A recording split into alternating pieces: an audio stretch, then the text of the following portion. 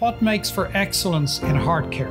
It starts with one of the most amazing teams of heart surgeons and cardiologists that I've seen assembled under one roof and the region's leading technology in a new $40 million facility. This is the nationally recognized Heart and Vascular Institute of Eastern Kentucky at Pikeville Medical Center.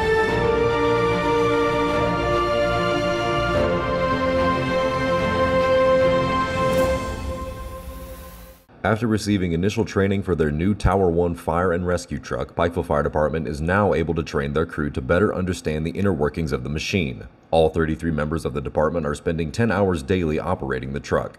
This portion of training is being orchestrated by Captain slash Training Officer Brandon Hayton.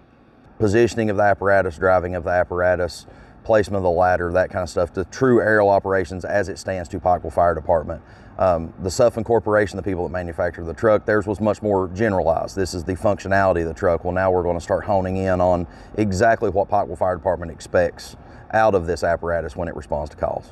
We have started into that daunting task of putting 33 people through the driver's seat of this, you know, 10 hours uh, each a day. So people will see this truck on the road because we have to do an exorbitant amount of driver's training, but it's just so that when it does make those emergency calls, we can be the most efficient in our response versus someone who's got a brand new toy that doesn't know how to operate it.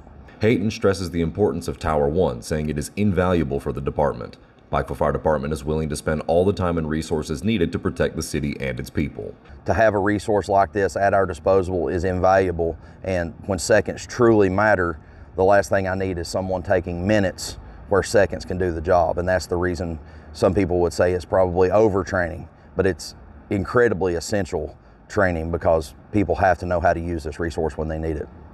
With updated technology and updated apparatus, there's always this learning period, and this breaking curve, and our guys are quick on the uptake when we, we immerse them in this. That's what makes us so efficient at our job. So I take great pride in the training, in being the training officer that the exposure I give these guys to all the technology we possess to make these resources invaluable to our department as well as you know our community and the citizens we protect. Reporting for Mountaintop News, I'm Nick Collum.